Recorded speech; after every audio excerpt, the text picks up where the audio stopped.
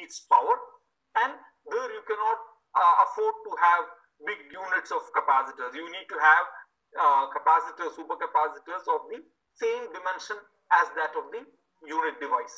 Okay, that's why we went ahead and uh, tried to uh, explore the possibility of, you know, um, uh, fabricating these kind of tiny supercapacitors. But now, uh, when it comes to uh, when it comes to let us say uh, these kind of applications which involve like a very flexible energy storage devices, right?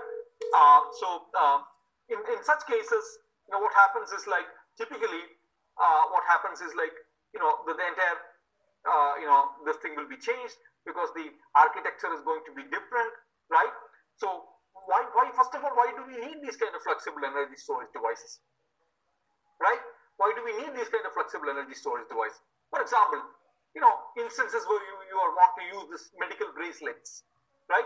Or an RFID tag, right? All these involved. For example, an RFID tag or medical bracelet, you know, think about it. I, I need these things to be powered, right? So if this device or the powering device, the capacitor or battery, if that is flexible, then it makes sense. It is fine. Otherwise, I cannot think about a bracelet like this because now I have to really worry about this big battery unit connected to it, right? Okay, that's what, or in other words, now the importance is like, can we really have these kind of flexible batteries and supercapacitors for its application for, uh, you know, large applications like in a car, right? Now what happens, where, where are the batteries or supercapacitors kept inside a car, electric car? It is beneath the seat. Okay, you see all these chunks of batteries are aligned, kept here. First of all, that occupies space. Second thing is it's very heavy. Okay, instead, if we can think about a completely flexible battery or a supercapacitor, you know, that can basically be embedded onto the doors, onto the parts of the car. Then, you know, it becomes easily distributed. Energy storage device is equally distributed all across the car right? Consumes, it saves space, it's, you know, it, uh, it reduces the weight, right? Once you see that the weight is reduced, obviously, it has, uh, you know, it, uh, it positively contribute to the efficiency of the vehicle, correct? So that's where, you know, typically something like this, okay? The door part, you know, in, in between the part I have, uh, you know, if I can insert a flexible battery or a capacitor, then it'll be easier, right?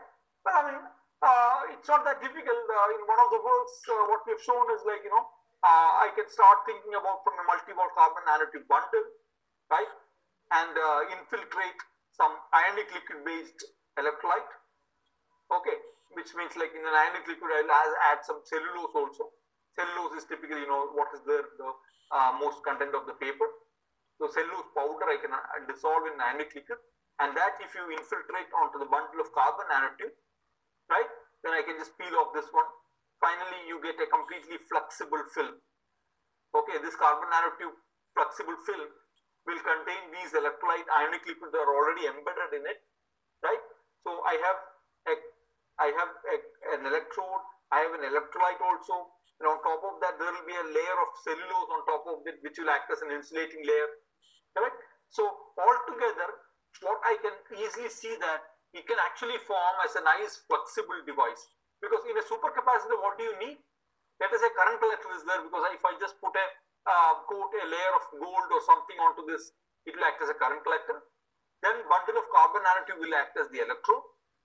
Then when I'm infiltrating this liquid, already these cations and anions are already there. Electrolyte is there, right? There is this cellulose part which is kept, right? That will act as the electrolyte, uh, sorry, it will act as the separator, insulating separator.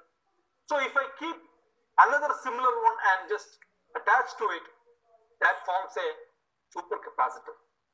Okay, and since the, all these materials are flexible, like what you saw here, highly flexible, so two such elements, two such uh, films, if I put together, it forms a flexible supercapacitor device, right?